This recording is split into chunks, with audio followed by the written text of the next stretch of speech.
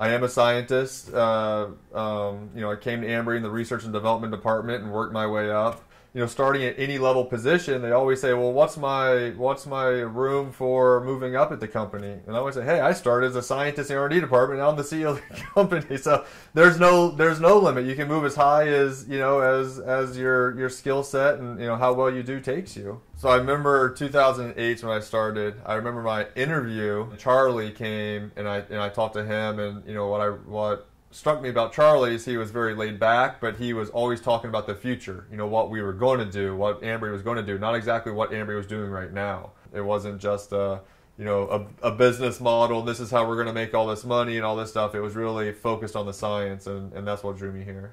To me, that's the most exciting part. You know, it's really being on the forefront of the technology. There's there's no guidance. There's nobody to ask.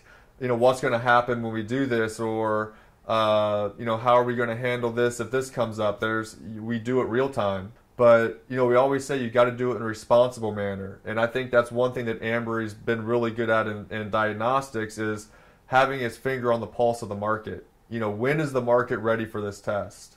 You know, not when are the academics ready, is or when are the advocates ready. It's when is the the whole clinical market as a whole ready when are, do the results make sense? When can the clinician take the results and actually do something with them? I mean, my philosophy and the kind of the way that I see Ambry and really this whole field is the potential of diagnostics is you, you can't even measure it.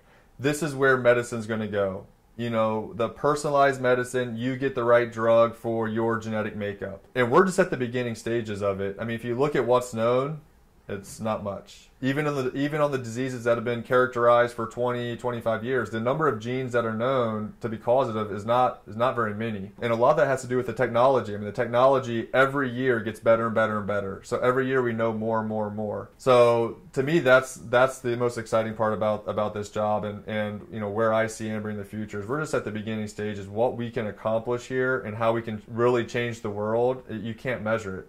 Um, so I think if we stick with the science, stick with you know advancing the technology, not being afraid to be the leaders, you know that was that's one thing that's always hard for a company is leading, right? It's easy to follow when someone's successful, but actually being the one that trailblazes, I mean that's something that that Ambry's been really good at in the past, and I think that's something that that we'll continue to be good at.